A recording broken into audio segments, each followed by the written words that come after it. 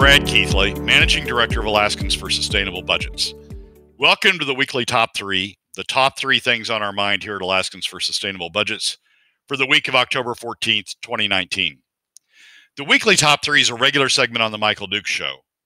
The show broadcasts on Facebook Live and via streaming audio from the show's website weekdays from 6 to 8 a.m.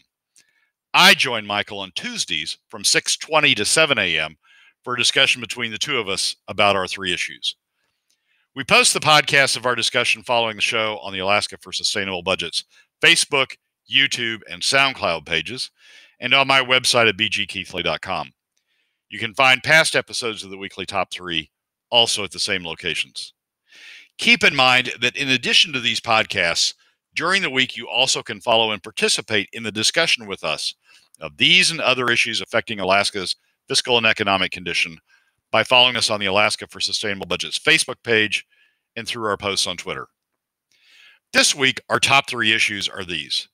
First, rather than acting as a nonpartisan source of analysis, the Alaska Legislature's Legislative Finance Division is stacking the information deck being given to Alaskans.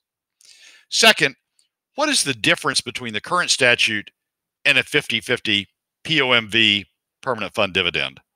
And third, what's the effect on the budget and Alaskans of adopting a 50 50 POMV permanent fund dividend? And now, let's join Michael. I want to take a crack at this first piece. And of course, uh, we're going to talk about the Alaska Legislative Finance Division and the PFD Working Group and how Alaska Leg uh, Finance is trying to rig the PFD debate uh, in their favor. And you've got some visual aids to talk about uh, with this uh, as well, which uh, we'll put some links up in the chat room for folks to be able to go out and view it later if they miss it. Uh, but let's uh, let's talk about that. Well, let's step back for a second to, to 2017 or before 2017. Before 2017, the PFD, for purposes of the budget, was treated as as something that was a, essentially an off budget item. It for a number of years it was put in the other category. Uh, for uh, uh, uh, another set of years, it was put in the designated funds category, which means it wasn't part of unrestricted general funds that the legislature annually sort of went in and worked with. It was designated for a specific purpose and set aside for that purpose, and the revenues weren't mixed uh, with unrestricted general funds. Um, and it and it was treated that way from 1982 until 2017. In 2017, uh, Ledge Finance, which is is the advisors, the fiscal advisors to the legislature, Ledge Finance at the at the urging, uh, but but nonetheless uh, on their own, uh, at the urging of, Senate, of the Senate Finance co-chairs, but nonetheless, Ledge Finance made the decision to do it, changed the PFD revenues from designated general funds or, or other uh, funds to unrestricted general funds. And the impact of that was all of a sudden to put to put P, all of the revenues otherwise that should go for the PFD into the general fund and then make uh, uh, the PFD a general fund spending item. Before that, it had always been treated off to the side, non-budget revenues weren't in. Um, uh, but but in 2017, with the change in how they were doing the how, how they were putting the budget together and how they presented it uh, in the fiscal charts, all of a sudden it became general revenue, unrestricted general revenue, available to the leg- legislature generally, and uh, and and the PFD became a spending item. This was even before the Supreme Court case right um, uh, that they did this. So right. so they they they all of a sudden changed the nature of or, or the, the the way in which the PFD was treated. That had the effect. That's had the effect of of giving credence to the to the arguments that Senator von Imhoff and Senator Stedman and, and, and Senator Coghill and others now make that oh the PFD is just part of general funds. PFD is spending uh, out of general funds, and so we've got to we've got to make the hard choices. We the legislators have to make the hard choices about what we're going to spend money on, and we're not going to spend it on the PFD. We're going to spend it on on other things um, instead. They didn't. They didn't. That conversation wasn't a conversation that occurred before 2017 because we had it we had it categorized where it should be, frankly, uh, under designated general funds. So that that action by the leg- legislative finance changed the debate in 2017. Now, fast forward to 2019 and to the PFD working group, the legislators legislature's bicameral PFD working group. Um, and and Ledge Finance once again is getting involved in the process uh, and and and dealing with with the PFD. You can find the, the, the PFD working group has created a website called pfdalaska.org. Uh, and on this website, they've added something new that's called an interactive Excel model. And that model supposedly enables citizens to go in, legislators and citizens and others, to go in and and, calc- and and show what they would do or calculate what they would do, uh, how they would deal with with the budget issues. And when you go to this model, uh, it it shows the uh, spending levels and it shows uh, revenue levels um, and it shows uh, the PFD.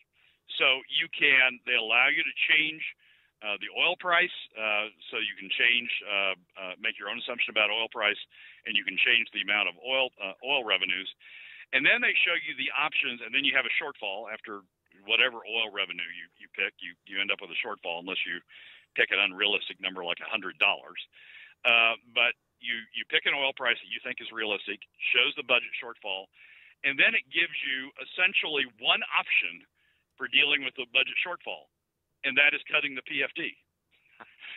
so there, this whole model is built is built around trying to convince you that the only way to deal with the budget shortfall uh, is to cut the PFD. Now, interestingly, they don't tell you you can do this, but interestingly, you can go in and play with the spending numbers, and you can find how much we would have to reduce spending in order to balance the budget. Um, but the only revenue option and the only the only clear option they give you on how to deal with this is by cutting the PFD. And once again, Ledge Finance is trying to lead Alaskans through this interactive model. First, they first they led Alaskans to say uh, to try to lead Alaskans to be able to claim that it was unrestricted general funds. Now they're trying to lead Alaskans to say the only solution to the to the budget crisis we have is by cutting the PFD. It's just a question of how much you cut.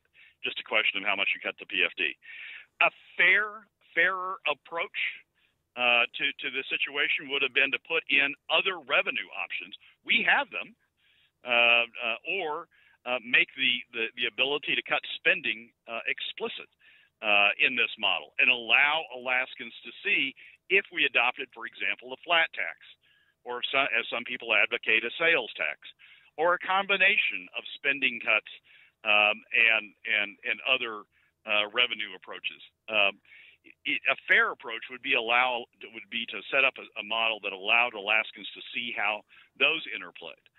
But but one more time, Ledge Finance, no doubt at the urging of the Senate Finance Committee co-chairs, and, and probably this time the House Finance Committee co-chairs, Ledge Finance is trying to drive Alaska Alaskans to a single conclusion, and that single conclusion is that you have to cut the PFD. I was playing with the model uh, late last night and this morning, looking at this, and I you said we could change the budget numbers. I've clicked in every square that I could find. I can't even figure out how to do that. Um, and and you know I'm kind of P, I'm kind of Excel savvy, so I was like, how do I make some changes? And I can't. And I'm like, okay, well, obviously they're trying to drive us to one conclusion here. Yeah, exactly right. You can you can I mean you can click on the you can click on the uh, cells and you can change the numbers in the in the spending cells.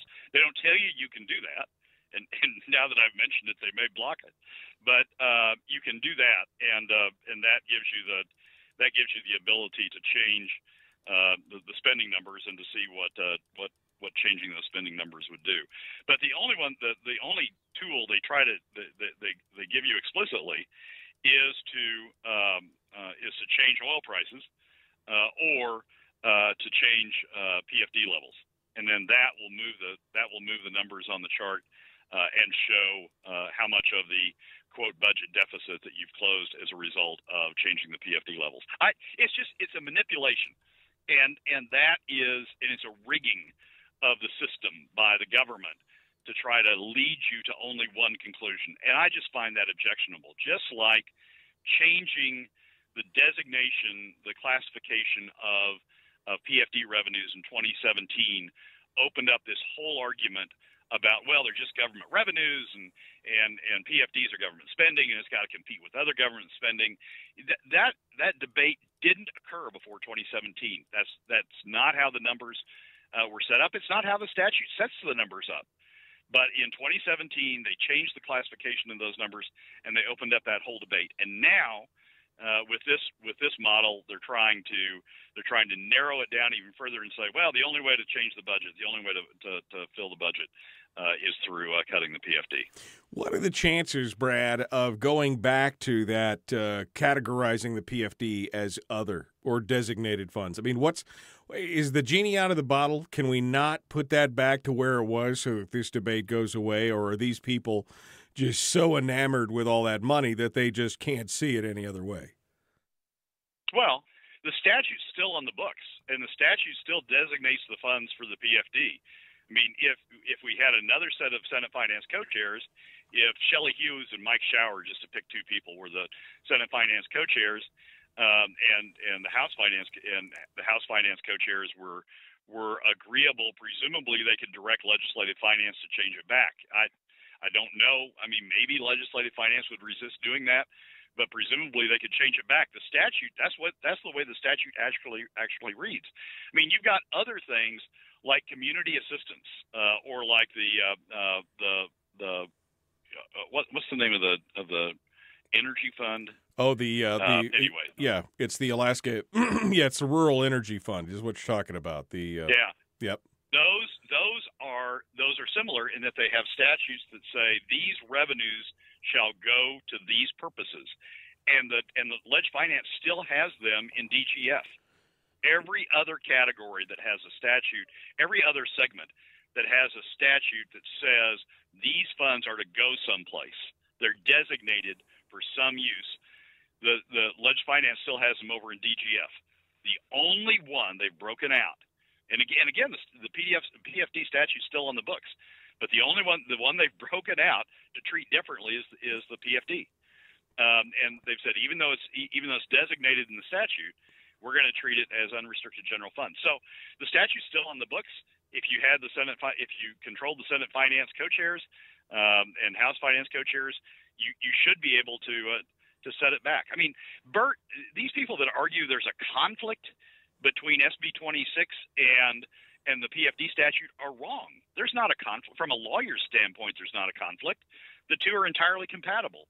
You can only take so much. SB 26 says you can only take so much from from the permanent fund each year. Fine.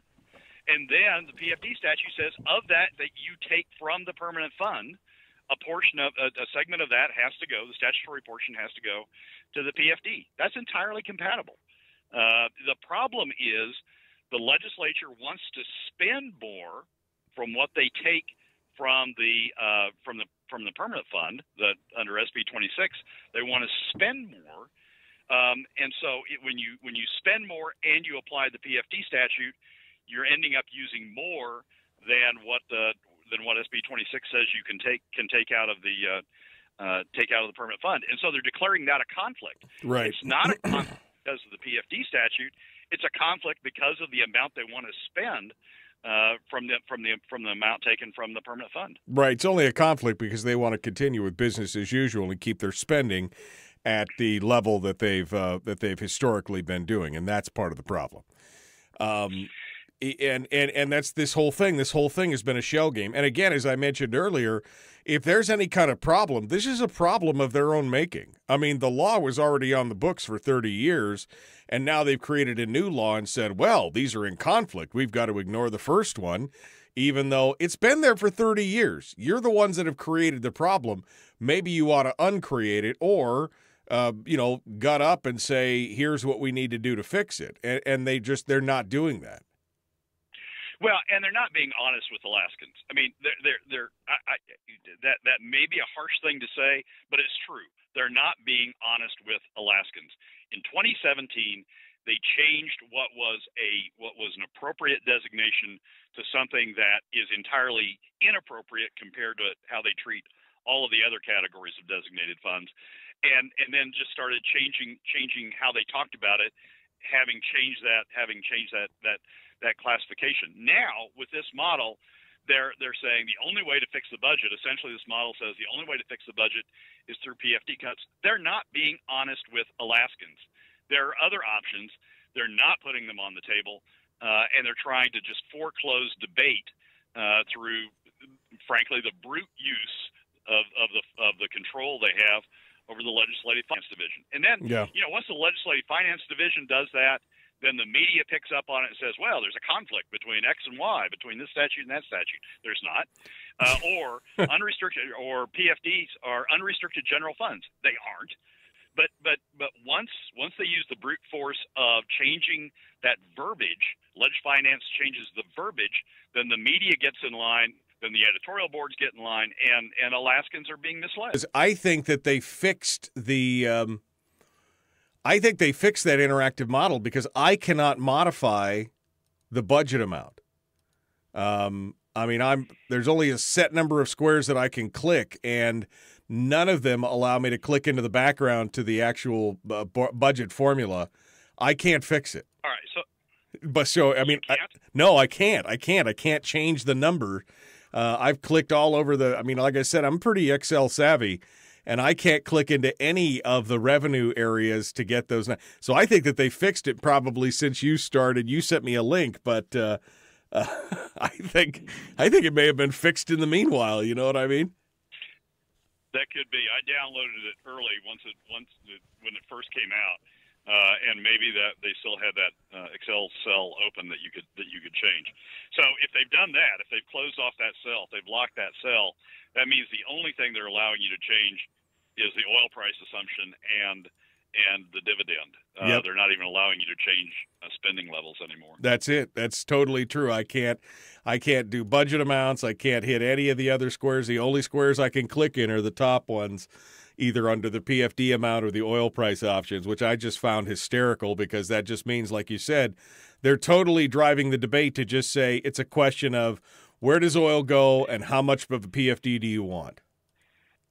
You know, Michael, I would expect that out of an interest group. I would expect somebody to come out with a model like that out of an interest group that that uh, you know was was trying to steer the debate uh, in their in their direction and really didn't want to, you know, give uh, opponents an opportunity to to do this. But this is the government. This is legislative finance, which you know, if you read if you read the newspaper articles, tells you it's a it's a nonpartisan there for the best interests of Alaskans. The division is there for the best interests of Alaskans. A governmental agency that that that you can rely on to tell the truth and to and and is is nonpartisan in how they advise the legislature. It's the government that is that is foreclosing your consideration of of legitimate options, and these aren't these aren't squirrely options. I mean, both the ISER analysis and the ITEP analysis uh, from uh, from 2016 and 2017, uh, respectively, tell you that cutting the PFD has the largest adverse impact on the Alaska economy and on Alaska families. There are other options that are better. A progressive income tax, a flat income tax, a sales tax, all produce better impacts, better outcomes for Alaska families and the Alaska economy. So these aren't these aren't off the board options. These are what the what the, the analysts have said are better options. And yet uh, legislative finance uh, is foreclosing uh, Alaskans' ability to see them by by rigging the model they're giving Alaskans to show only one one option.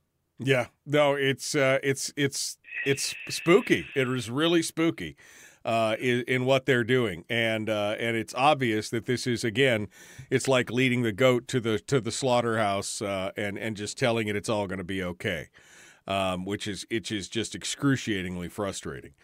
Um, I, I think you're right. I think if we could change the narrative again, if we could reverse the narrative on this and put this back into, um, you know, and put this back into that uh, the formula of of other category or the DGF category, we could fix this. But again, it leaves it it leaves it at the whim of future legislature. So I think ultimately, in my mind, the idea is still it still has to be a um, a, uh, uh, a constitutional change. Am I am I wrong? No, no, that's exactly right. I mean, the the Supreme Court essentially says the legislature can do whatever they want whenever they want. Uh, forget statutes, uh, at least with respect to fiscal matters. Uh, forget statutes. The legislature can make it up as they go along. So yeah, even if even if the Senate reorganized, and and again, just just to pick two, Shelley Hughes and Mike Shower were the were the Senate Finance co-chairs, and fixed this and and and and and respected Alaskans and were honest with Alaskans and treated the P, the PFD the way that other designated general funds are treated. Uh, yeah, uh, the next election could wipe them out, and and we go right back to where we were. So yes, a constitutional fix is the only way permanently to take this off the table.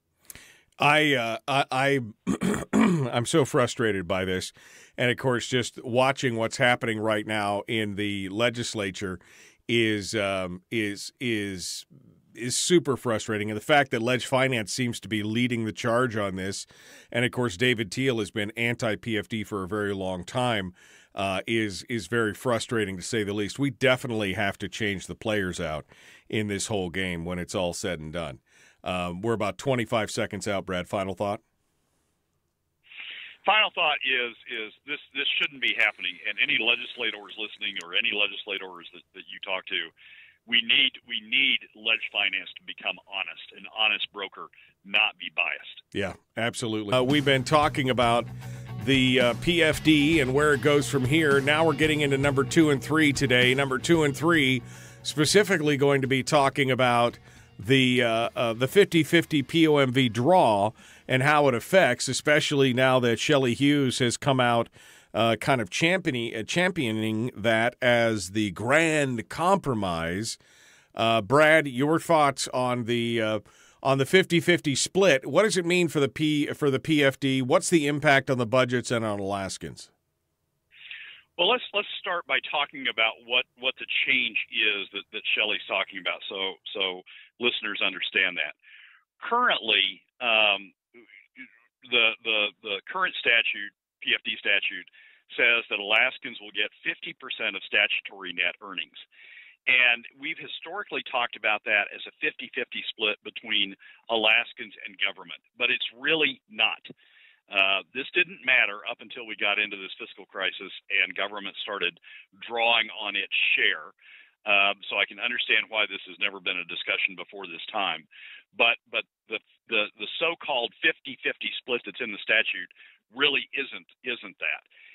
50% of it, 50% of statutory net earnings does go to citizens, but on the other side, on the other 50%, a, a significant portion of that 50% goes to inflation proofing. It doesn't go to government, it goes back into the permanent fund to inflation proof the permanent fund. And that's about that's about uh, uh, 20 or 25 percent, or about 50 percent rather of the other of the other 50 percent, about 25 percent of the whole. So by the time you wash that out, the real split that's going on under the current statute is 50% to Alaska citizens, about uh, 25 about 25 percent to to uh, inflation proofing the permanent fund, and about 25 percent to government. Government's not getting 50 percent of those statutory net earnings because of the way that inflation proofing is working. Now, inflation proofing, when you think about inflation proofing, it benefits the PFD. It benefits both the PFD share and it benefits the government share because it's keeping the size of the permanent fund adjusted uh, for inflation and making sure that it doesn't deteriorate the size of the fund um, the power of the fund doesn't deteriorate as a result of inflation. So it's benefiting both sides of, of the equation. What what it what 50-50 what, what POMV 50-50 does is say essentially this.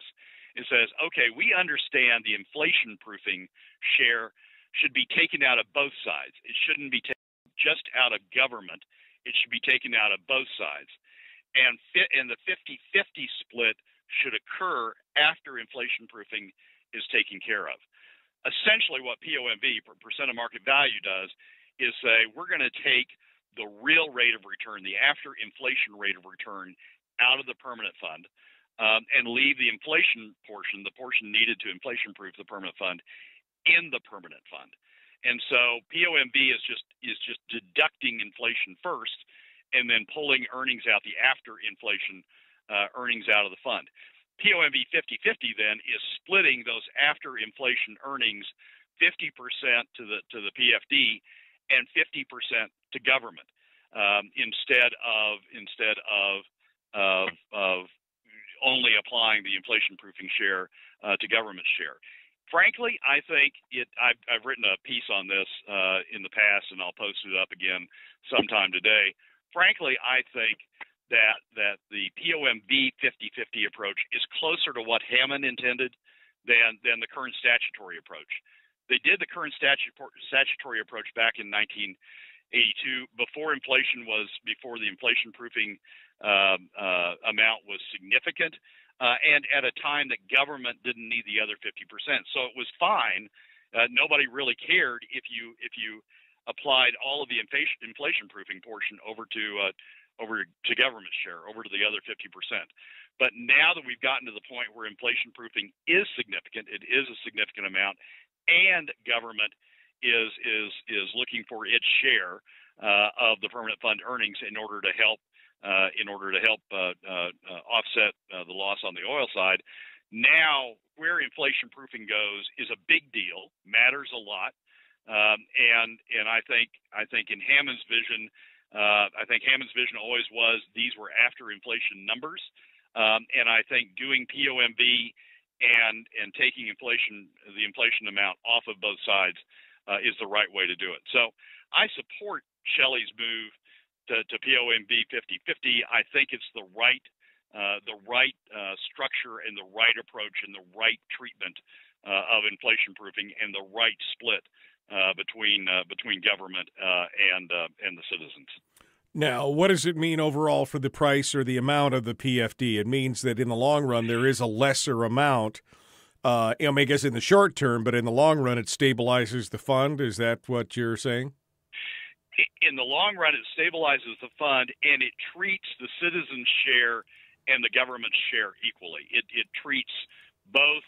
Um, uh, it, it, it, it, takes it, it takes into account the inflation, the cost of inflation proofing uh, on both uh, the PFD and on the government share. So it stabilizes the fund because you leave you leave the inflation proofing in in the fund from the outset. When you do POMV, you're leaving the the inflation proofing amount uh, in the in the permanent fund from the outset, uh, and then it's splitting the remainder equally between between government and uh, and uh, and citizens. Now, under the old approach, under the statutory net income approach, because uh, all of inflation proofing was assigned over to government, and the PFD didn't have to bear any of that cost.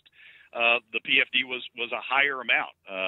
actually, Alaskans were getting something like 67, 68, 69 percent of the of the statutory net earnings. Uh, government, the split between uh, uh, the PFD and between citizens and government was about 67 percent citizens uh, and about 33 uh, uh, percent, 30 percent government. Now it will it will come back to being a true 50-50 after after taking into account inflation proofing.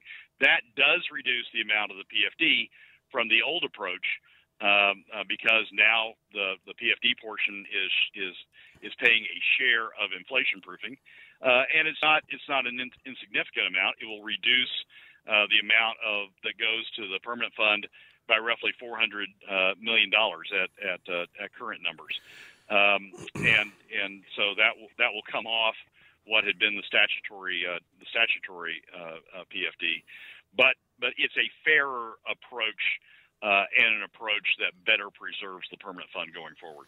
This story in the Alaska Journal talks about how one of the ideas being floated is a 75 25 split, 75 going to government.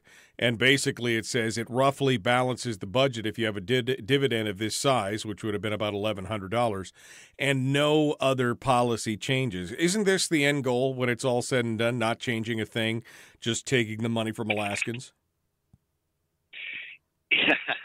it is. I mean, so so the 75-25 split is essentially the same thing as saying we're going to take all of the deficit out of the PFD. um, uh, and and the PFD's uh, PFD tax is going to be the way we're going to pay for uh, any deficit that shows up in government. And and no policy changes is code is code words for we're not going to we're not going to reduce the budget any further. So yeah, it, it that means that we're going to take uh, all of it out of the PFD, not just not just balance the PFD at 50-50 after inflation, uh, but we're going to continue drawing down the PFD, reducing the PFD in order to pay for any remaining deficit. I, the, going from 50-50, um, going from 50-50 uh, uh, under the statute, going from the current statutory approach uh, down to uh, POMV 50/50 reduces the deficit, the nine-year deficit, average deficit over the nine years, uh, from about a billion three dollar billion three to about uh, uh, uh, about 800 million. Um, so it, it reduces the deficit materially from coming from the current statutory approach down to POMV 50/50. Uh, but it uh, doesn't wipe out the deficit. Right. And basically, what the what what the what the proposal is, what what going to 75-25 does, is to try to wipe out the remaining deficit simply by cutting the PFD further. Right. It again shows that what we have here is we have a spending and a revenue problem. What are, what do people not know about this, Brad? I mean, what are what do people when they see this and they hear this? And I know Shelley is starting to take some heat in her district over this, but is this the equity in your mind? Is this the most equitable solution to this whole problem? Is this 50-50 split? I mean, I mean, essentially, since you've already admitted and we've kind of acknowledged on the program that there is just not the political will to fix the spending problem that we have in this state? Yeah, it's the most equitable approach. It's an approach that that, that frankly uh, I've advocated for the last few years uh, because it, it right right now when we using the current statute right now we're shorting government its share. Government's not getting a full 50% because we're taking the inflation proofing out of only out of the government side. So we're shorting government. And, and the result of shorting government, as we found out, is to increase pressure on cutting the PFD or increase the need for new revenues. Government government should get its share of the permanent fund earnings stream. It, it, it we, we need to do that. Government we need to do that to be consistent with with his approach. Um, and, and the current statutory approach doesn't do that. So changing it to POMV 50/50 um, uh, after taking inflation proofing off the top of both sides, changing it to POMV 50 is a lot fairer approach. It improves what government's getting. Government's no longer taking the hit of having to having to pay for inflation proofing entirely out of its share, uh, and it and it's a much better reflection, much more equitable split of of the revenues being taken out of the out of the, the POM out, out of the permanent fund. But it doesn't solve the entire budget problem. It, it starts moving down. The budget problem falls from a billion two deficit down to an $800 million deficit, uh, averaged over nine years. It doesn't solve that deficit, and and we need other tools in order to be able to solve the remaining deficit. A combination of spending reductions um, and and a flat tax, for example, uh, or uh, a combination of spending reductions and some other revenue source. Uh, but but POMV 50/50 is a step in the process of getting this problem resolved. Jonathan asked, why isn't the inflation proofing done prior to the draw? Uh, withdrawing to the government and expecting to put it back seems very trusting, is what he's saying. But I think that's what, essentially what this 50 50 plan would be, right? It takes it out, it inflation proofs, and then it splits the remainder amongst the citizens on the PFD side and the government on the other side. Is that, is that, am I reading that right? That, that's exactly right. POMV, the, the POMV approach does take inflation proofing out before the money is split between government and the PFD. It does exactly does exactly what Jonathan's asking. Um, uh, the current approach is the problematic one. The current approach is is government uh, gets the inflation proofing, then has to put it back. Uh, the POMV leaves that money uh, uh, in the permanent fund. Doesn't take doesn't take it out initially. And of course, the best uh, idea in this whole thing would be to enshrine, if we're going to do it, to enshrine that into a constitutional amendment so that it can't be futzed with later on down the road. And of course, the, the biggest thing, the biggest heartburn I have with this whole deal is that the government is already getting you know 90% of all revenues. I mean, they're already getting Yep. you know all the different taxes and severance taxes and everything else and all we'll get all they're all we're taking is we're getting an earning chunk off of 25% of the royalties. The government's getting everything else and it's still not enough.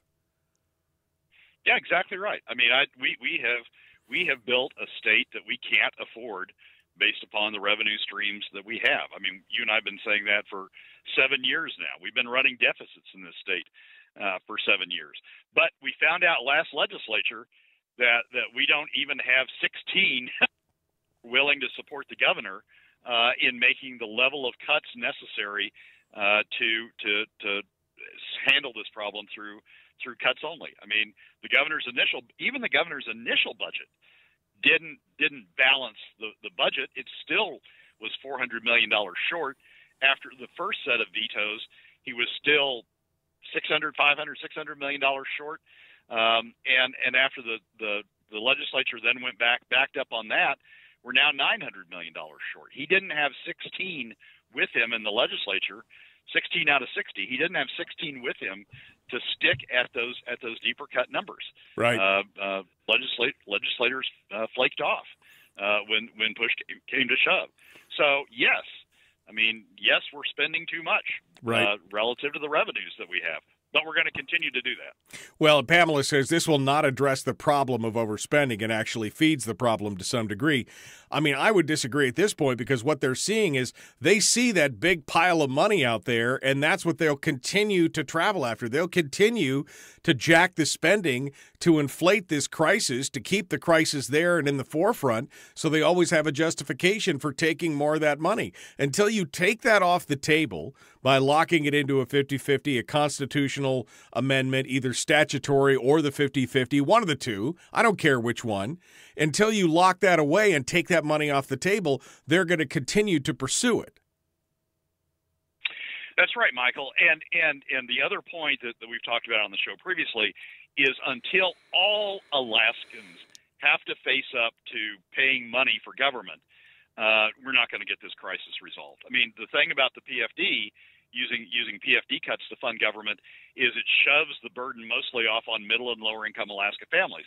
The top 20 percent pay a trivial amount of their income uh, through through PFD taxes. Right. Only it, it- we're only going to get this resolved if all Alaskans have to face up and pay for uh, uh, pay for an equitable share of the cost of government. If the top 20%, if Natasha von Imhoff had to pay the same amount of her income, the same 8, 10, 20% amount of her income that she's forcing off on middle and lower income Alaska families, if she had to pay that out of her income, by gosh, we would have spending cuts. Yep. Thank you so much. We're going to send All right. people out to the website to take a look at it. Thank you. Michael, as always, thanks for having me. Well, that's a wrap for another week's edition of the weekly top three from Alaskans for Sustainable Budgets. Thank you again for joining us. Remember that you can find past episodes on our YouTube and SoundCloud pages and keep track of us during the week on Facebook and Twitter. This has been Brad Keithley, Managing Director of Alaskans for Sustainable Budgets. We look forward to you joining us again next week on the weekly top three.